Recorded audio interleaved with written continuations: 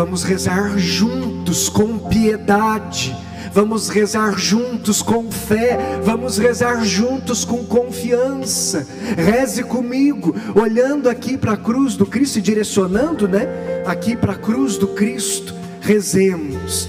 Jesus, coloca tuas mãos benditas ensanguentadas, chagadas e abertas sobre mim neste momento.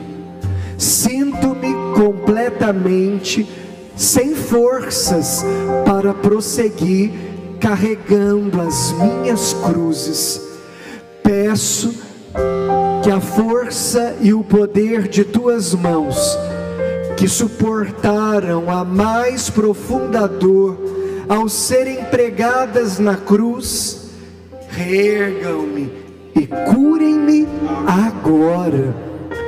Jesus, não peço somente por mim, mas também por todos aqueles que mais amo. Nós precisamos desesperadamente de cura física e espiritual, através do toque consolador de tuas mãos ensanguentadas e infinitamente poderosas.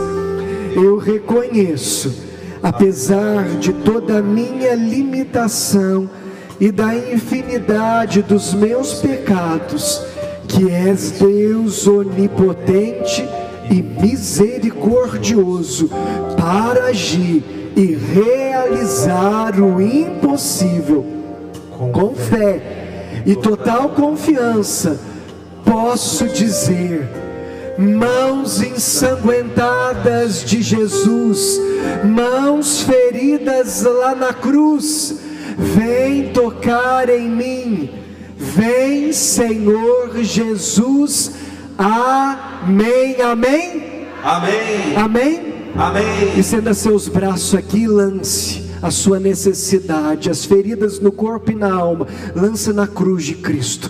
Coloque aos pés do Senhor e reconheça que só Jesus é o Senhor. Coloque, coloque diante dele. Coloque diante dele o seu coração, a sua vida, a sua família. Coloque com fé.